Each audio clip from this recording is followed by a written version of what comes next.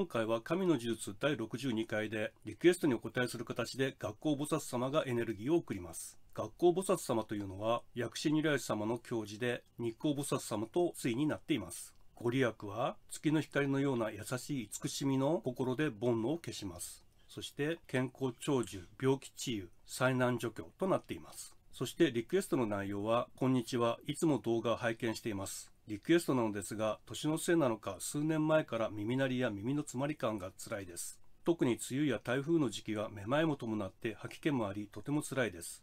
耳の不調に効く動画などアップしていただけたら幸いです。というものです。それでは本題に入る前にこのチャンネルでは皆さんの人生を明るく楽しくする動画を送りますので、チャンネル登録をぜひよろしくお願いいたします。それでリクエストに関してですが、まずは病院に行ってください。と言いますのは、耳の詰まりは時間解放症か時間狭窄症でして、これは耳鼻科です。気象の変化で起こる体の不調は気象病と言いまして、内耳の不調か自律神経失調症が考えられます。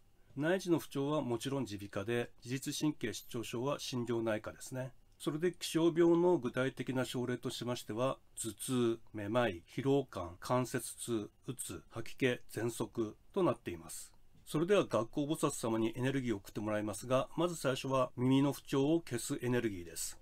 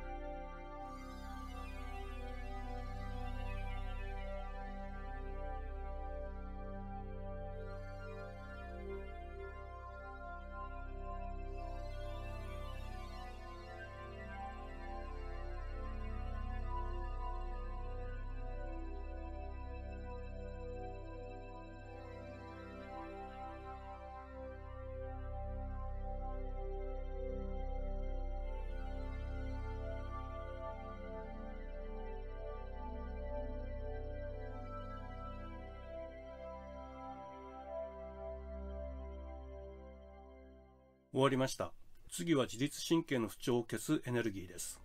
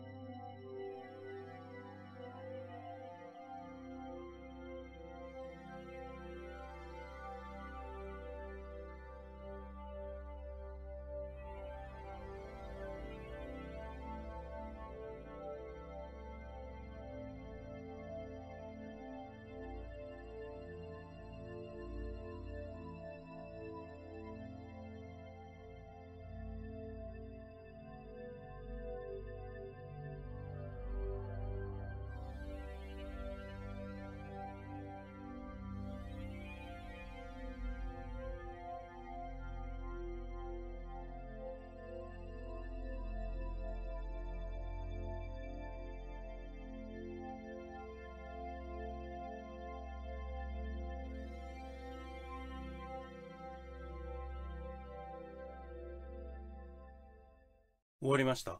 気血水が整ってないと耳をはじめいろいろな症状が出てきますので、次は気血水を整えるエネルギーです。